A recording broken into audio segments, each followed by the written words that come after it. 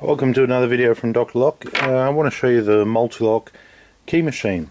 Now this key machine is unique to just Mul-T-Lock. It only does Mul-T-Lock. You can't do any other type of keys except for Mul-T-Lock. And I'm going to take you around and just give you a quick tour of the machine. First of all, I'll start from the top. You've got a key gauge. Originally on the older machines you'd be able to put the key in and push down and it'll show you what your code is. Now you have one of these very very accurate key gauges so what you would do is simply just lift it put it in and you could actually measure your cuts. From there you can work out what your cuts are. Your cuts on the left side go in uh, numbers sorry letters and then numbers. The interesting thing about this key, particular key machine is it also does master keying as well so it does the side cuts. Now this key machine a lot of people won't show you because it is a restricted product uh, being that you have the key switch on the side so once that key is being removed the machine's inoperable. Um, this particular key machine also comes with the cover as well. High security cover there it is there Mul-T-Lock. And it's just a machine for Mul-T-Lock and Mul-T-Lock only.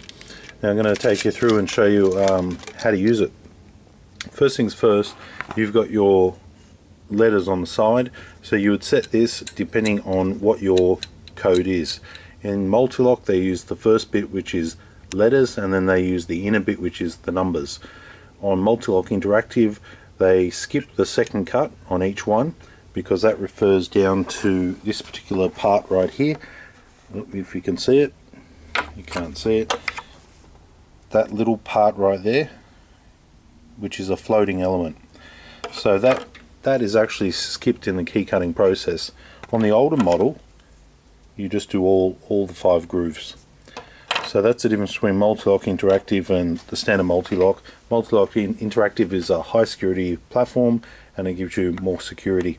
Now when loading a key machine like this, it's important that when you put the key in, you loosen this knob off here, you slide it in from the side, I'll do this with one hand and hold the camera with one hand, taking note that you actually butt up against this little point right here. That's your key stop right there you can see it. Okay so when I back this off I have to slide my key all the way in and then tighten it up.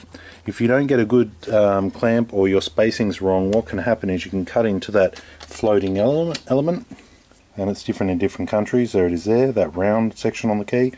If you cut into that you're going to wreck your cutters. As you can see here the cutter and the cutter on this side so that's your outer and that's your inner now if you cut into that, you're pretty much going to wreck your cutters, which means you've got to remove them, replace them. I've already done that once. When you remove them, you simply slide them out, slide the new one in, push it all the way back and tighten it up. So now this key's loaded in. I would turn my machine on like so and then start to cut. When I cut, I lift this up once, twice, move on. Second cut I skip, third cut I move up like that moving all the way over to the inners. First cut skip second move to third up up down until I've completed the key. Once I've completed the key I remove it I rotate it I reinsert it and I do that. If you come up with a key which has side cuts this little S on the side symbolizes the side cut. So if it has let's say five side cuts I would put them all to the S function. I would loosen my jaw here and put my key in sideways push it all the way in. Now one thing I have noticed with this key machine is you've got to keep it clean. I use I like to use a spike like this and I'll show you how much just comes out just by that. Don't know if you can see that or not but you do get crumbs in there and if you get crumbs in there you're not going to get an accurate key so cleaning this machine down is is critical. As you can see here I haven't kept it as clean as I should. So putting it in the side there we can now do our side cuts. We turn the machine on, bang, bang, and we will cut whichever side cuts we want. Each position here you can see, so you can only do it in that one position. If you do try and cut uh, the floating element, it should stop you. It's a bit hard to see, there it is there. Should stop you, but not always it does. And especially if your spacing is out, you haven't inserted your key properly, you can cut into that floating element and completely wreck your machine. Um, the cutter's way expensive for a cutter, but they are what they are so you don't want to wreck them. Moving around the back of the machine now.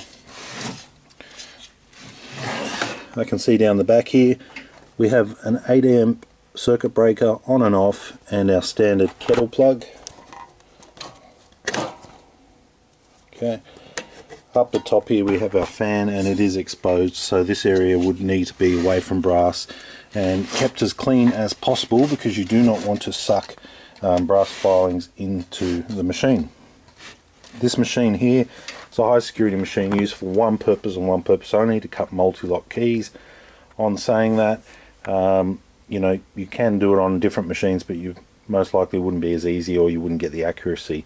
These machines are very expensive so everything about them needs to be done you know and, and done right otherwise you wreck the machine and it'll cost you a lot of money.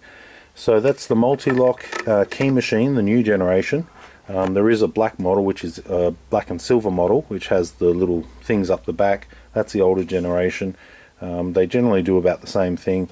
There is another model that only has one on one side, but you know this is the this is the best model here.